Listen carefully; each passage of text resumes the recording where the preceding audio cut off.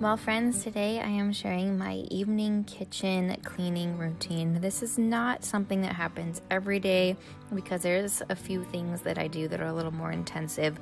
But with the girls down for bed and the sun's still out because the days are a little bit longer, a little lighter, it's time to get the cleaning in. And so I am first of all just wiping down the table, getting um, the chairs wiped, fingerprints, all of that good stuff that needs to be wiped down because you have little kids and even us adults just leave grime and wiping down the little boosters and high chairs as well.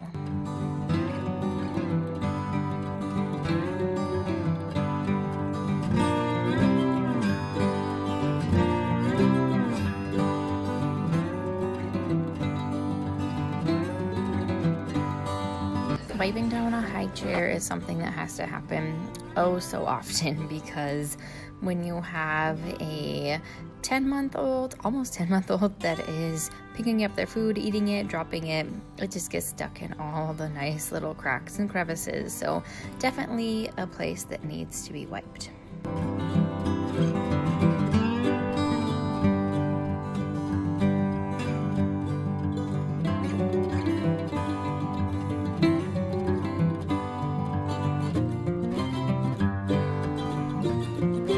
Like to put away dishes when I have the time. Sometimes I do just let them drain dry. Like I said, this doesn't always happen this way every night, but it's nice to have a clean sink, and I need to do this anyways because I will be cleaning out my sink here later.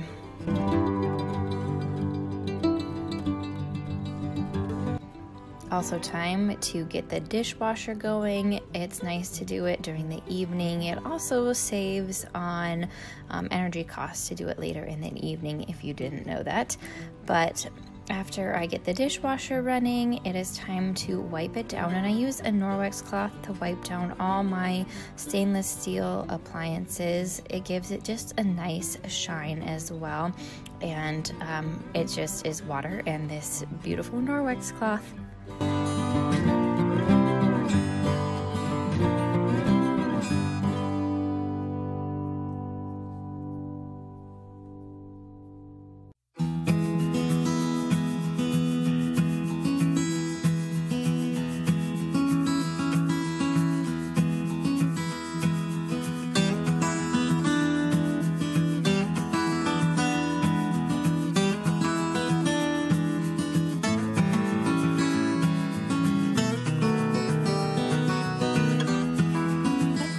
Also am wiping down my stove because I have a glass top and my tea kettle and just every little part of my stove with this cloth It just really shines it up.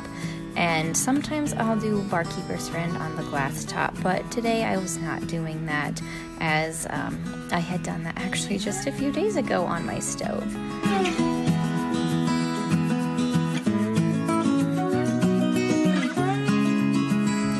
For my sink tonight, I am going to be doing Barkeeper's Friend, and I am using this um, soft cleaner liquid one. I am trying that out. I use it on my sinks and my stove, like I mentioned, and I just love this product. I just get it on Walmart.com and it's shipped to my door.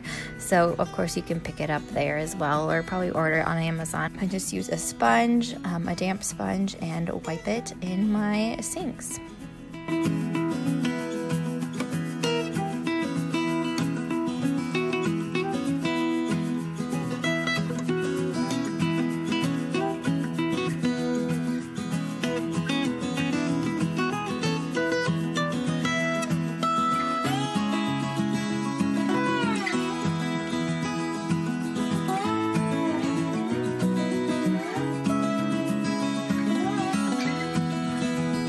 I rinse out the barkeeper's friend, I am just doing a vinegar hot water soak because I want to get my dish drying rack clean. It gets scummy and gunky on the bottom, and so I just want to soak that. So while that is soaking, it is my third time of Swiffering today. So Swiffering for me is just such a simple little task to get all the crumbs from um, each meal that we have. And I honestly leave my Swiffer out in my corner. My kids do not touch it. I do have a toddler um, and one who's not walking yet, anyways, but my toddler does not touch it at all. So I Swiffer and then I just put on a microfiber cloth and this Better Life floor cleaner to do a quick mop if that's what you call it, clean. I know many of you have said, I need to get a mop, I need to get a mop. Yes, I know I probably do, um, but this just seems to work all right for me. And then, of course, um, I will be getting on my hands and knees anyways to do a little spot cleaning under my uh, daughter's chair because things just get stuck on there when you don't mop your floor every day.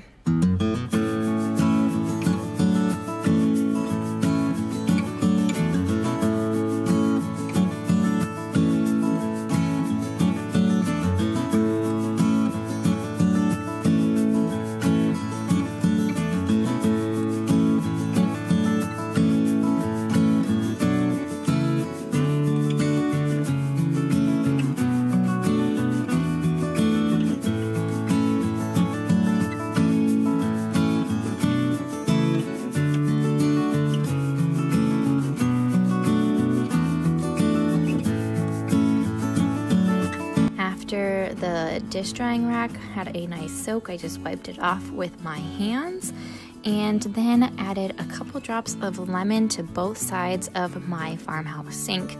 And then it was time to add just some fresh towels and light a homemade beeswax candle. So, that is a great way to end the kitchen cleaning. I hope you felt inspired today to clean your kitchen and get done what you can on any given evening.